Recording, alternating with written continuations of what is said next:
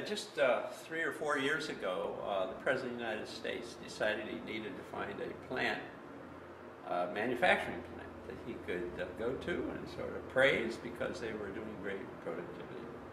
And he found one in Davenport, Iowa, an Alcoa plant.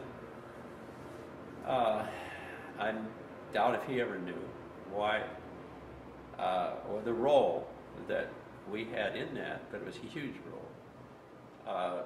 Roughly seven years prior to his going there, may have my time off a little. Anyway, we began to cascade our version of the T group, which is an in-house version, uh, quite different than the classical T group, which would did not work when it went in-house, and it would not work. Uh, but ours, uh, we began with the e-board, the uh, steel steelworkers uh, executive board, and the president of the union, in a joint T group, or I'm going to call it skill group, tough stuff. I mean, I'll mix those words. And with joint with the plant manager and his direct reports. So how many people in the room? So I'd say here's, we're talking about roughly 20. And we're also not talking about just one week, but we're talking about a three-day follow-through in uh, uh, three weeks, and another three-day follow-through in six weeks. So, so how long was the initial experience? Five, Five five days. Now, in these five days, we had, they were in two skill groups, but we did a lot of mixing up. In other words, we'd have half of the executive group and and half of the uh, direct reports in a group and the other half over here. But then, we, because we only want about 10 or 12, we don't want 22 in a group, so or 20, so we split them up. But then we also had all kinds of things where they were interfacing with each other. Because the, in the classic T group world, it was about 40% of the laboratory education experience. What we call tough stuff is the laboratory education, and our skill group is roughly 40 or 35% of the time. So they had that, and of course they dealt with real issues. I mean, that's what people deal with when you deal in a house. If you send them off to a training somewhere where they're there with all strangers, of course they can't deal with their work environment because other people say, you know, I'm tired of hearing you talk about that. But here, man, it becomes here and now fast. People say, yeah, well, about some issue between the union, the management, some issue on the floor, some issue in safety, whatever it is. So um, then we cascaded that experience across intact work groups to 1,300 people over the next six, seven, eight years. And uh, an intact work group would look like this when it got to the floor. You'd have a supervisor. You'd have the shop steward of that group. You would have an engineer. You would have the crew. Now, the engineer, if he was only interfaced with this group, which was rare, would be there all the time. But the engineer would have had other another skill group experience or T group experience, but they would still dip in enough with this group. And the same with uh, a quality person or others that interfaced with this group. But but it was a an intact, or at least then we said in-house kind of group, and we moved it through the whole organization.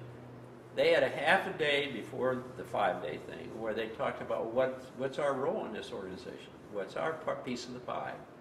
What are we expected to do? What do we expect of ourselves, etc. Then they had the five days, and then they also had the follow-through sessions. So think of that with 1,300 people. In the meantime, we did a major project uh, of uh, cost effectiveness, reducing costs and raising production, uh, raising money and making money, uh, the total 15 million. And we involved over 100 people, including more than 50% steel workers, because that's, we say, if you're not going to do that, they'll come in the room, they won't trust the outcome. You've got to have them there. Now, as far as what we specifically do in our skill groups is different than the classic T group. And I know the classic T group. I had my first one in 1953. Um, here, we, we would, let's say we have 10 people, we would have five in an inner circle and five in an outer circle for most of the experience. Sometimes we'd have them all together, like in the classic T group. But most of the time, it's these five and these five, and they're assigned. One here is watching one here. Now, the people on the inside have this assignment. They're told, um, I want you to be in the here and now. I want you to talk about what I speak from yourself, what I feel, I want, I think. We want you to notice the group processes that are happening here, uh, how decisions are being made, etc. And we want you to stay connected. That's the task of the interior group. The outside group, you describe the behavior of people. The folks I'm now talking about, the most difficult human skill there is, to describe what somebody did without putting your judgments in. And of course, uh, we, we do all kinds of work with them. Uh, get one example. If somebody moves close to somebody, one person will say, um, they were in his face, or, and then, you know, that's their judgment. But for the person there, they might have liked it. They might have liked it. It's, so we have to teach behavior description to the outside circle. Now, behavior description is fundamental to everything. If one doesn't know how to describe behavior different from my judgments of that behavior, then I cannot learn emotional intelligence. I can't, I, I can't manage. I can't give clear feedback. I can't ask for clearly, specifically what I want. Behavior description is, is key to this. So the outside circle works on that, and it's a discipline. The inside circle works on appears to be more fun stuff, but I mean, working at uh, more, uh, that, you know, what's going on for me, between us, what's going on in our group. How we, why are we talking about this? Oh, we made a decision by default, things like that, the inside group. But that's been our unique take. And the thing that happens, And then you switch at some point? oh yeah, they switch, they go out and talk to their partner, they go back in, then they switch, and. And the uh, outside group goes inside, all Oh, stuff, absolutely. stuff we did years ago. Absolutely, and we switch even partners the next day and that. There's, there's one other thing, uh, escaped me there, I wanted to uh, say about that.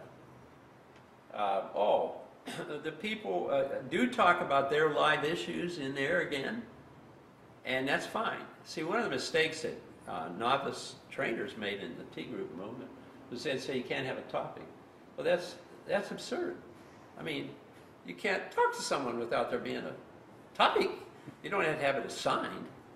What we say is, we're not going to give you a topic, but we don't say you can't.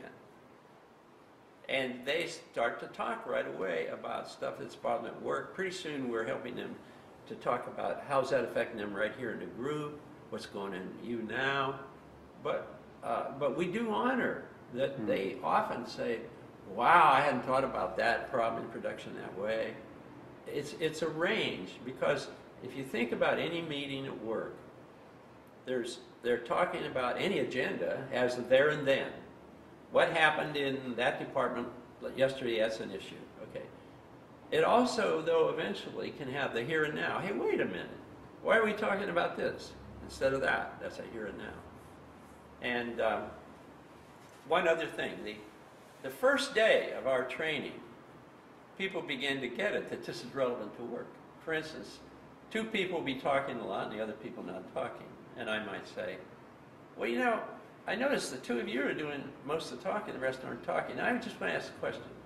Does that ever happen at working meetings? Oh, yeah, all the time. Okay, solve it here, you'll solve it there. Our goal the first day is to help them realize, contrary to what a lot of people say, which is that this isn't real, is that what they're doing here is the same stuff at work they brought, dropped here. Now we can look at it, we can learn from it. And that's why transfer of learning from a stranger group is very difficult.